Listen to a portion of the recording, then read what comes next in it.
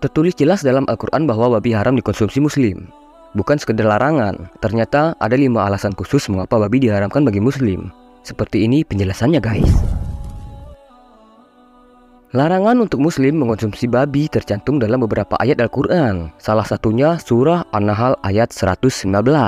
Ayat tersebut berbunyi, sesungguhnya Allah hanya mengharamkan atasmu memakan bangkai, darah, daging babi, dan apa yang disembelih dengan menyebut nama selain Allah. Tetapi barang siapa yang terpaksa memakannya dengan tidak menganiaya dan tidak pula melampaui batas, maka sesungguhnya Allah maha pengampun lagi maha penyayang.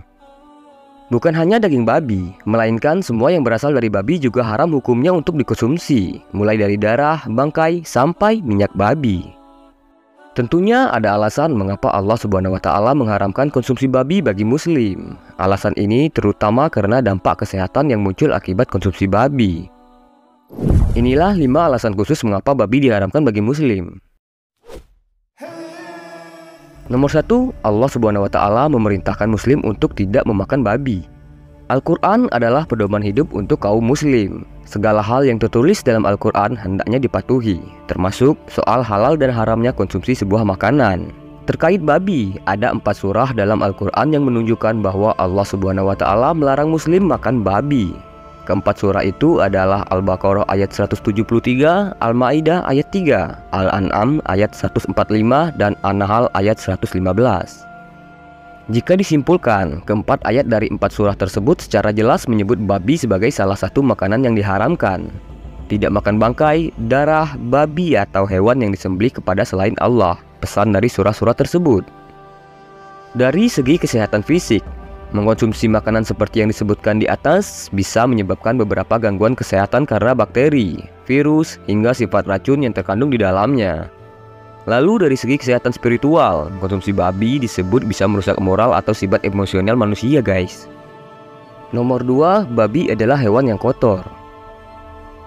Beberapa kebiasaan babi menunjukkan bahwa mamalia ini tergolong hewan kotor. Sebagai omnivora, babi bisa makan apa pun saat hidup di alam bebas. Bukan hanya tumbuhan dan daging hewan lain yang mereka santap, melainkan juga daging busuk, tikus, reptil, mayat manusia, kotoran, dan bahkan kotoran mereka sendiri. Muslim menganggap babi sebagai najis karena mereka rakus memakan semua makanan, termasuk yang kotor. Babi juga termasuk hewan yang tidak berkeringat, padahal keringat punya fungsi penting untuk mempertahankan suhu tubuh. Karena babi tidak berkeringat, sering kali hewan berkaki empat ini coba mendinginkan tubuhnya dengan cara berguling di kotoran dan feses mereka sendiri.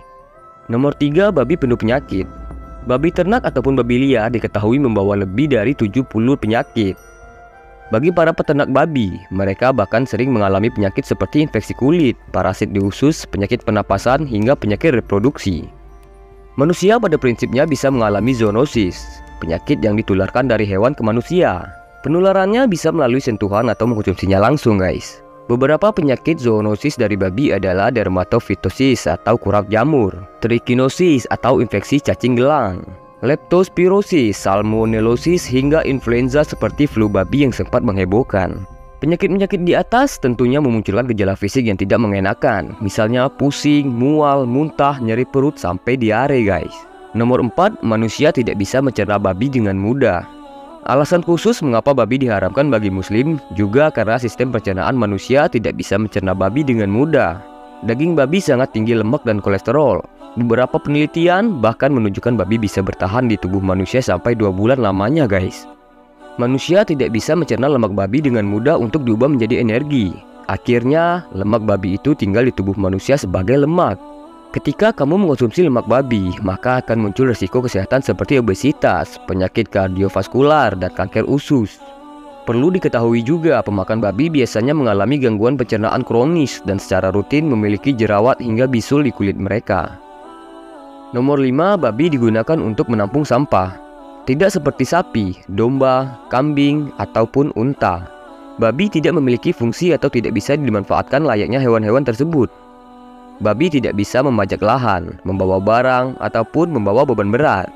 Penggunaan utama babi adalah untuk diambil daging dan lemaknya. Kemudian produk sampingnya juga digunakan dalam industri bahan kulit, lem, pupuk, dan beberapa obat. Yang terparah di beberapa tempat, babi digunakan untuk membersihkan sampah dan kotoran karena mereka akan menelan dengan mudah semua yang disodorkan di hadapannya. Kemudian, babi juga bisa menampung hama seperti tikus, parasit, dan bakteri berbahaya lainnya. Huh,